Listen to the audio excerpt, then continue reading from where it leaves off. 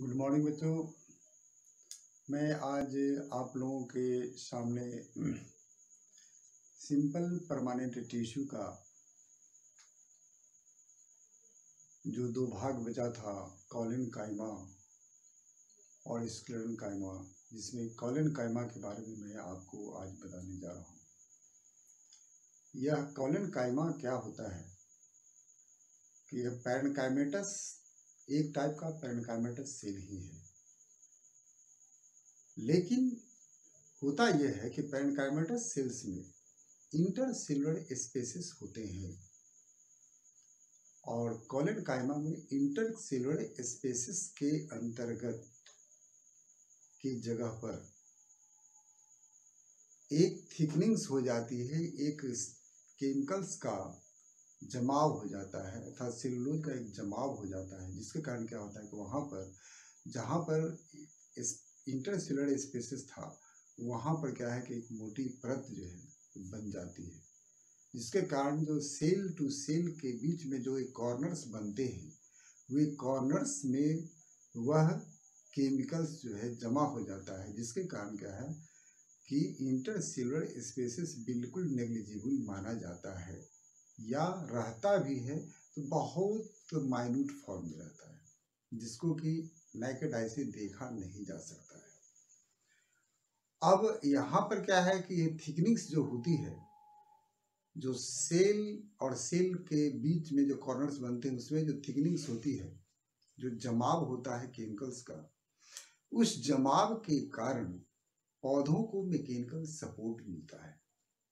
अर्थात पौधों के अंदर में स्टीफनेस आती है, मजबूती आती है, तनाव आता है।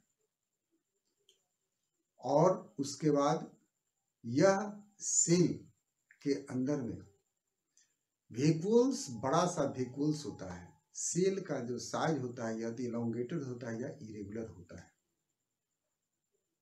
और यह सेल लिविंग होता है। लिविंग होने के कारण यह पौधों को जो है टर्जिडिटी भी प्रदान करता है, अर्थात टर्जिडिटी टर्जिड होने के कारण इसमें टर्गर प्रेशर बढ़ जाता है और स्टीफनेस कॉर्नर्स के थिकनिंग्स के कारण, ये दोनों कारण से यह पौधों को मैकेनिकल सपोर्ट देता है और यह पौधों को फ्लेक्सिबल भी बनाता है। इस फ्लेक्सिबिलिटी के कारण पौधे झुक जाते हैं, लेकिन टूटते नहीं। पौधों की डालियाँ झुक जाती हैं, हवा या किसी कारण से, लेकिन वो टूटती नहीं है, इतनी फ्लेक्सिबल हो जाती है। और इसी फ्लेक्सिबिलिटी के कारण ये पौधे आंधी तूफ़ान में टूट नहीं पाते ये लिविंग सेल्स होते हैं, इसके कॉर्नर्स में केमिकल्स का डिपोजिशन हो जाता है सेल के अंदर जो न्यूक्लियस पाया जाता है, उसके अंदर में एक इरेगुलर सिपेट भेकुल भी पाया जाता है। सेल वाल सेलुलोज के बने ही होते हैं। इस तरह से यह कॉलिन काइमा बहुत ही पौधों को मैकेनिकल सपोर्ट एवं फ्लेक्सिबिलिटी प्रदान करता है। यहाँ पर बोर्ड पर आप देख सकते हैं। ये पिक्चर बना है, यह वाल थिकनिंग्स है, यहाँ पर एरो लगा है, ये वेकुल है अंदर में, ये इरेगुलर सेपेट है, ये न्यूक्लियस है आपका, ये आपका सेल वाल है। यही कॉलिन कायमा का यह स्ट्रक्चर है।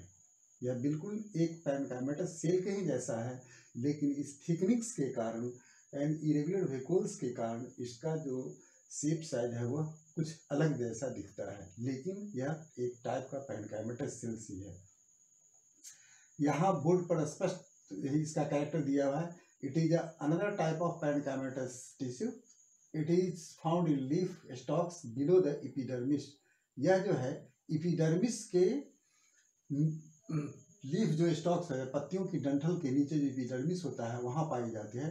It possess the following characters first of all it is flexible यह बहुत फ्लेक्सिबल होता है, जिसके कारण पौधे झुकते भी आंधी तूफ़ान में तो टूटते नहीं है। नेक्स्ट है it also provides mechanical support और यह मैकेनिकल सपोर्ट ड्यूटी यह वाल थिकनेस के कारण यह मैकेनिकल सपोर्ट भी पौधों को प्रदान करता है। इट इज़ अ लिविंग यह लिविंग सेल्स होता है। It is elongated and has irregular cell इस सेल का जो साइज़ होता है शेप होता है, वह इरेगुलर होता है यह कोई फिक्स नहीं है, या फिर इलोंगेटेड होगा। Corners of each cell are thickened ये जो दो सेल के बीच में जो कॉर्नर देख रहे हैं, ये से कॉर्नर्स में थिकनिंग्स जो है, यह केमिकल का जमाव है, जिसके कारण क्या है क्या स्टिफनेस आ जाती है इसके में करापन आ जाता है, इसीलिए हमें केमिकल सपोर्ट प्रदान करता है। नेक्स्ट है due to thickenings of corner very little intercellular spaces are present और इसी थिकनिंग्स के कारण क्या होता है कि इंटरसेलर स्पेसेस जो है वो समाप्त हो जाते हैं बहुत कम, बहुत मैंने कम मात्रा में, बहुत लिस्ट अमाउंट में वह जो है इंटरसेलर स्पेसेस होते हैं जो नेकेड आई से दिखाई नहीं देता है, वो माइक्रोस्कोप से देखने का विषय है। तो इस तरह से हम लोग देख रहे हैं कि कॉलिन काइमा एक पैरनकाइमेटस सेल्स का ही एक टाइप है। इसमें दोनों में अंतर है कि वहाँ इंटरसेलर स्पेसिस था, यहाँ पर इंटरसेलर स्पेसिस की जगह पर यह वाल थिकनिंग्स है जो कि एक सेलुलोज का थिकनिंग हो जाता है।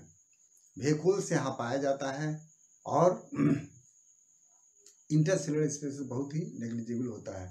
यह बहुत फ्लेक्सिबल होता है और मैकेनिकल सपोर्ट्स पौधों को प्रदान करता है। यह पौधों के पत्तियों के जो डंठल होते हैं, उसमें पाए जाते हैं और एपिडर्मिस के नीचे पाया जाता है।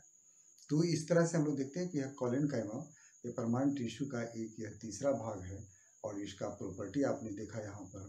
बोर्ड पर पिक्चर भी बना हुआ है और इसका कैरेक्टर्स भी वन टू करके लिखा हुआ है। तो आशा करता हूँ कि आप लोग इसको अच्छी तरह से समझ गए होंगे कि पैरन कायमा और कॉलिन कायमा में क्या डिफरेंस एक तरह डिफरेंस भी हो गया और कॉलिन कायमा और पेन कायमा का अलग अलग प्रॉपर्टीज़ भी हो गया, जिसमें स्पेशल ये कॉलिन कायमा का यहाँ प्रॉपर्टीज़ दिया हुआ है।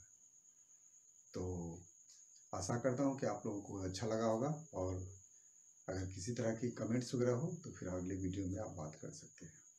तब तक के लिए जय हिंद।